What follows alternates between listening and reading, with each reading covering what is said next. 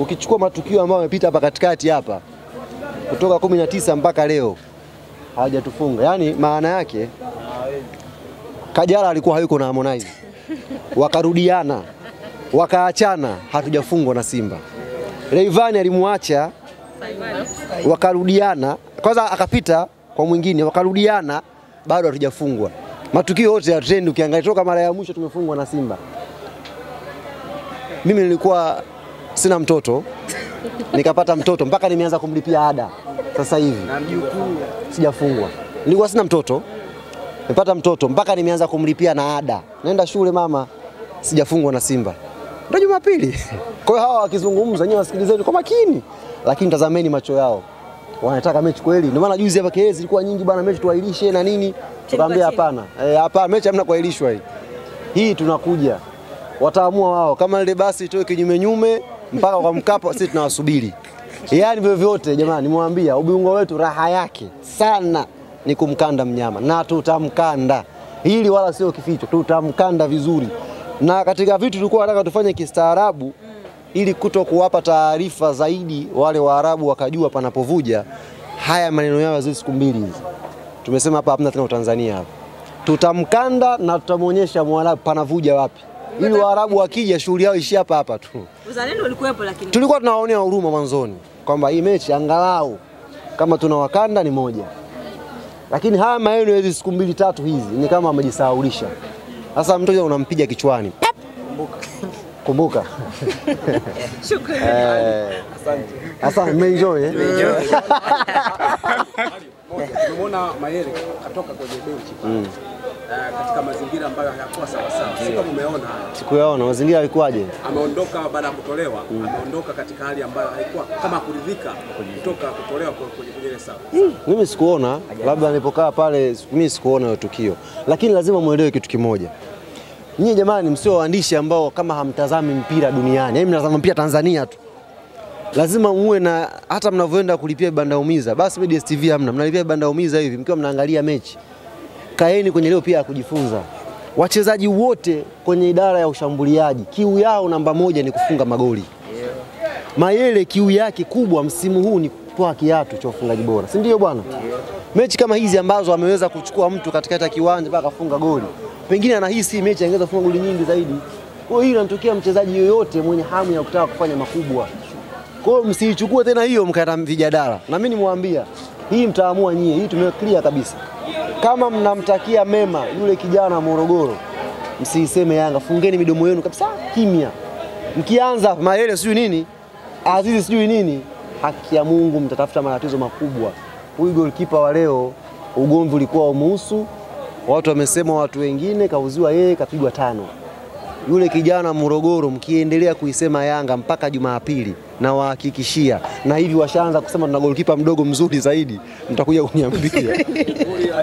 Goli, la, la, la Morrison umezungumzia magoli yote, lakini la Morrison kama pembeni, halijakufurahisha au? Sijaulizwa shekhe, sijaulizwa kuhusu Bernard Morrison.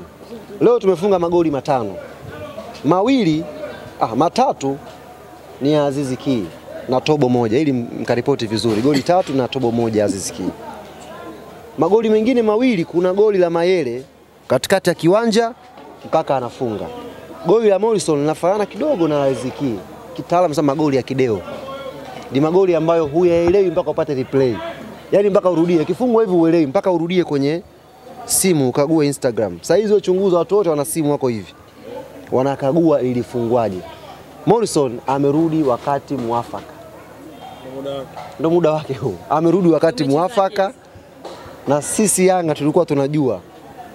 Morrison atarudi lini na tutamtumia lini. Hii tunathibitisha kabisa, wasiyempenda yuko fit na anawasubiri. Kama unawatisha wanyama.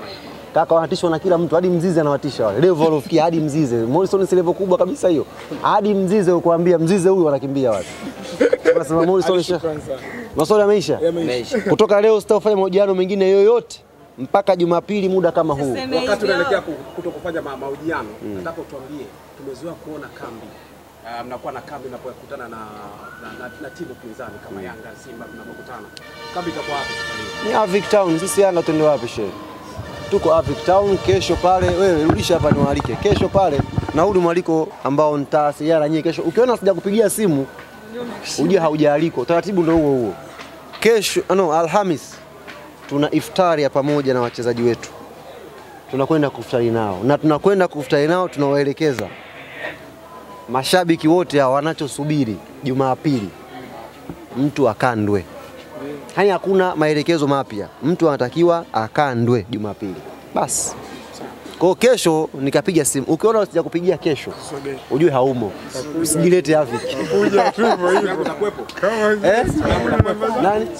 Wewe haupo. hiyo tarehe 16 kuna hattrick ya Baleke. Bwana Alikamwe anasema kwamba mara ya mwisho Simba kumfunga Yanga uh, Harmonize alikuwa hajamtongoza Kajala, lakini kamtongoza, wameachana, wamerudiana na Simba bado hawezi kumfunga Yanga. ili nyinyi mnalionaje kwenu? Sasa ndo safari hii, kwa sababu Harmonize kashamwacha Kajala na Simba ndo atakavyomfunga nini Yanga. Hizo salamu zimfikie kwamba safari hii hatuwezi kumwacha salama. Wao mtakuja na kapula magoli nyinyi au wao? Kapu la magoli linajulikana, kapu la magoli siku zote linajulikana lipo wapi, na mpaka dakika kapu limeshajaa sana. Angalau tu, wametuongoza kwa ligi, lakini ukiangalia kapu la magoli limejaa mpaka kupitiliza. Yaani Simba kwa swala la magoli tuko juu zaidi kabisa. Marcelo, kapu kapula magoli yani mta mnabeba wao ambao wamewapa nyie. Kwa maana yani kwamba wanatufunga wao ama tuna Wanawafunga wao mnaweka kwenye kapu lenu. Ah, hicho kitu hakipo, yani wafute kabisa. Yaani sisi ni pointi tatu na magoli. Kwanza wakija kwa tahadhari tunaweza tukawapiga goli mbili tatu. Uh, goli tatu kwanza ni muhimu kwa sababu ya hattrick ya, ya Baleke, lakini wakijifanya waki, wakijifanya wajuaji sana, basi zinaweza zikarudi zile za kipindi cha Okwi goli saba. Wanasema yeye kashafananishwa na wengi sana msimu uliopita na msimu huu. Kwa hiyo wote hawa wanakuja na kuondoka, lakini Mayele anabaki yule yule. Hasa ukiangalia Mayele kama anafananishwa na wengi, sasa hivi Baleke anazungumziwa nini? Baleke kaja katikati ya msimu, mbona anazungumziwa sana Baleke? Je, angekuja mwanzo wa msimu ingekuwaje? Huyo Maele anaozungumziwa msimu wa mwaka jana, mbona hajachukua kiatu? Ndio wanasema ameibuka sasa hivi Baleke kufananishwa naye ameibuka hajafananishwa. Baleke ni Haaland mwingine ule, usimzungumzie Baleke na Maele. Baleke usimfananishe na mchezaji yoyote hapa Tanzania. Ni mchezaji ambaye ana njaa, kafunga kwenye michuano ya klabu bingwa, kafunga kwenye Azam Federation, kafunga ligi kuu.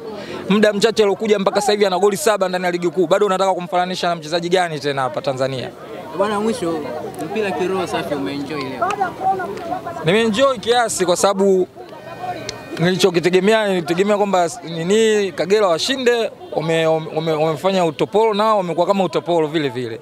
Kuna, kuna tukio moja Kagera, wakati wanaingia wamevunja nazi mlangoni pale, lakini wamekuja huku wamepokea kichapo cha bao tano. Ah, hizo ni tamaduni zetu katika timu zetu za Afrika. Hata kama ukiangalia katika game zetu Simba na Yanga tunavyocheza, si unaonaga Yanga wanaingiaga njia za uchocholoni Hiyo nini? Wakati geti la kuingilia linajulikana. Kwa hiyo hizi mbinu hizi ni mbinu za za, timu, za, za, za mechi zetu za timu zetu za Kiafrika. Hiyo ni jambo la kawaida kuvunja nazi, lakini mwisho wa siku wamefungwa. Kama sisi nao Yanga wana- wanabadilishaga njia kuingia, wanaingia upande wa uchocholoni kule inakokaa faya, lakini mwisho wa siku mechi inakuwa tofauti na ambavyo wanavyotegemea. Msimu huu akiingilia kule pembeni Yaani safari hata waje na helikopta washuke nayo mpaka chini, waache pointi tatu na magoli juu, lazima. Asante sana. It's not a game, it's a rich.